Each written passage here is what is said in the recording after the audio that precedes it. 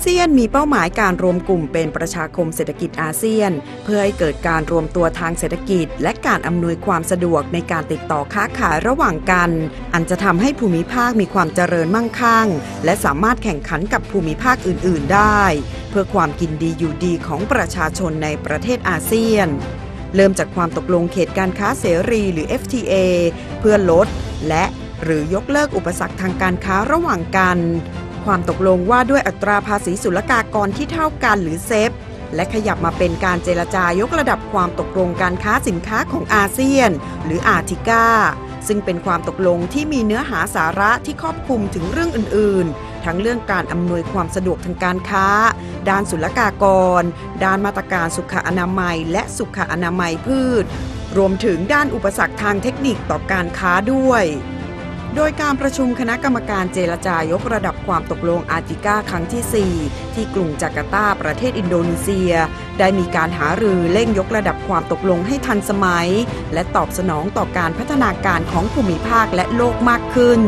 มีการหารือประเด็นสำคัญ เช่น การปฏิบัติต่อสินค้าที่ผ่านการใช้งานแล้ว แต่นำกลับมาปรับปรุงสภาพให้มีคุณสมบัติเหมือนของใหม่ การค้าในสถานการณ์วิกฤต กลไกการแก้ไขปัญหาประเด็นทางการค้า และความเป็นไปได้ในการเปิดตลาดเพิ่มเติม และยังเห็นชอบที่จะบรรจุหัวข้อเรื่องการค้าและสิ่งแวดล้อม ไว้ในความตกลงอาร์ติก้าที่กำลังปรับปรุงเพิ่มเติมด้วยจากเดิมที่ประเทศสมาชิกอาเซียน ได้ข้อสรุปร่วมกันแล้ว ในเรื่องของความร่วมมือทางเศรษฐกิจและวิชาการ การส่งเสริมวิสาหกิจขนาดกลาง ขนาดย่อมและรายย่อย และการค้าในสถานการณ์วิกฤต